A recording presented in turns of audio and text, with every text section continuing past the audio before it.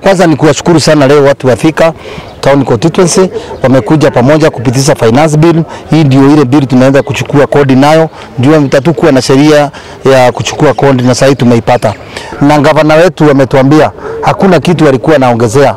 Na wakati tulienda kwa bunge na sisi kama mahasara tulisema hakuna hasara anaongezewa kitu, so hasara wote vile tuliongea sisi watu wa bottom up ndio mmeona it's the first time e, bunge ya Kiambu kupitisha mswada wa finance bill bila kuongeza hata dururu, na wananchi wamefurahia sana. Ya pili, tunataka kumshukuru gavana wetu na serikali yetu kuu ikiongozwa na president wetu Honorable Ruto na Mheshimiwa Alice vile wameleta hiyo hiyo kitu, wametusupport ya smart city, na kila mtu atakuwa beneficiary kwa hii fika. Tutasafisha fika, tutaandikiwa watu elfu tano na vile hiyo mambo ilitokea kwa hiyo goodwill ya ya kutengeza kuintroduce smart city, watu wa Ndremonte wale tunawashukuru sana, wametupea ekari mia, sab, mia sita na tisaini na saba ya shamba na tayari wametuonesha, na sisi kama wabunge na viongozi wa Kiambu tulisema hatutaweka tumbo zetu mbele. Tunasema kwanza tupeane industry, wakuje wajenge, wajenge, waandike watu wetu, ndio sasa tuanze kuangalia mambo mengine.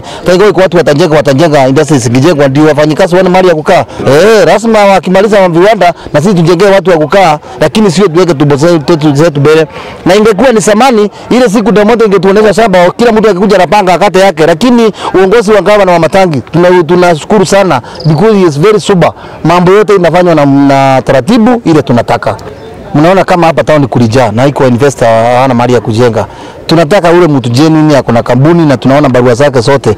Hii shamba hatuuzi, kiasi tumepewa tunampea ekari hamsini anajenga factory, anaandika watu wetu mia tano si tumefaidika? Kwa hivyo ndio ile kitu tunaangalia sasa. Ndio mnaona hata tangu tupewe hiyo shamba hakuna mtu ameenda kuweka bacon ya tini kwake. Tunangoja investor na tutaweka hiyo kitu kwa kwa wazi, kila mtu apate share yake na kila mtu wa Thika Town Constituency atapata bahati. In fact watu wa Delmont nilikuwa nawaambia, mnaona kutoka pale Blue Post hapo hata wapataki kitu juu vijana wanahamia. Sasa tukiweka town tukiweka city hapo hata security yao ni mzuri. Kwa hivyo hata hiyo shamba ametuonesha pale Blue Post na nyingine hapa Kilimambogo, tunashukuru sana kwa sababu tutakuwa security yao kama county government ya Kiambu, na tunaleta investor wengi sana hapa Thika kwa hiyo shamba, kwa sababu mnaona kama watu walienda Coastal City ni shamba walikosa hapa, hatukuwa na shamba wakati hiyo. Kwa, kwa bahati ya Mwenyezi Mungu ametusaidia, tumepewa shamba, na ndio mnaona gavana anasema hii shamba sio ati ya mtu viongozi wajitajirishe nayo, wanangoja mpaka sasa hivi tumepata title na tunangoja investors wakuje kila kitu yote, ule mbunge wote yako na kitu ya kusaidia Thika, na mnaona vitu zote tumeleta Thika.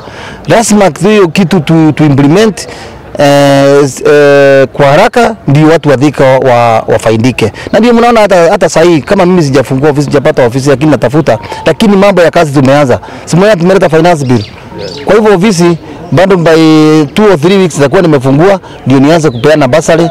Mimi tayari nimeandiki, nimeenda kwa factory kama tano, nimechukua, nimepewa majina, nimepeleka watu na naendelea kupeleka watu, hata wale wanjavikiwa bado wako kwa laini. Kwa hivyo nikifungua ofisi yangu ule foto wa hospital ndio anakuja na kitambulisho na foto, naona ni hapa, tunampeleka kwa sababu tumeongea na watu wa hospital.